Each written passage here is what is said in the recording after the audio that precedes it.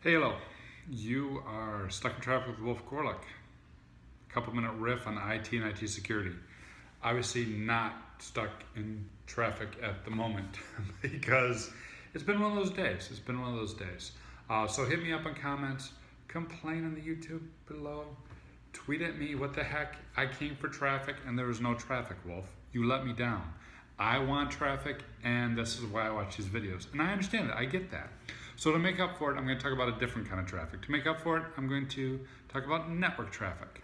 So, tip for you, if you're bored, if you want to know more about the recent attacks, go to Hacker Forums because Mirai, M-I-R-A-I, Mirai, has been released in terms of source code. What does Mirai say? So you may have heard a couple weeks back, a couple weeks back, uh, Krebs.com got taken offline. Krebs.com was offline uh, for a while. Krebs.com was hit with this record denial of service attack.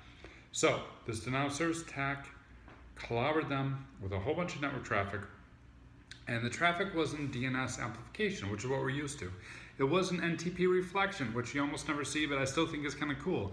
It wasn't TCP um, uh, exhaustion, right? The SYN floods that we've talked about before on these videos. It wasn't any of that. It was a whole bunch of GET and POST requests, a whole bunch of web traffic, hitting, hitting, hitting. So much web traffic that at its peak, Akamai, which was at that point in time providing services to Krebs, was seeing 665 gigabytes, 665 gigabytes of traffic.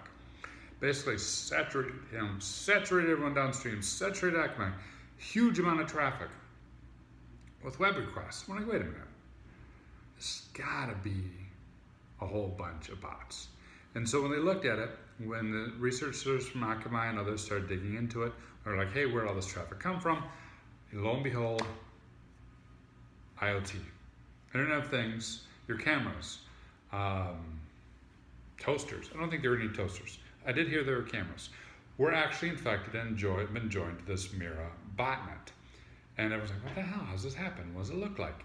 And now, now uh, the attackers have released the source code so that we can go behind the scenes and look at how that was constructed. Obviously, there's a, a, series of vulnerabilities that are taken advantage of, default creds, which you hear all the time in terms of IoT that are being taken advantage of, that allow this service to be installed, and this backdoor called back to the botnet, and then we said, hey, go sit and uh, talk to this website and shoot off a whole bunch of web requests. Almost similar to, in terms of web requests, like the low um, orbit ion cannon, right? In those types of days, open, open, open up the page until you exhaust the website.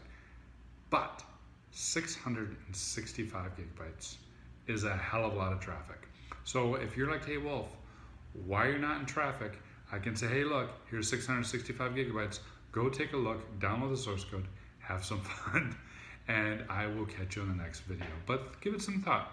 How would you defend your network against that type of attack? I have no idea what I would do. No idea. Um, it's going to be some interesting times in the next couple years. Cheers.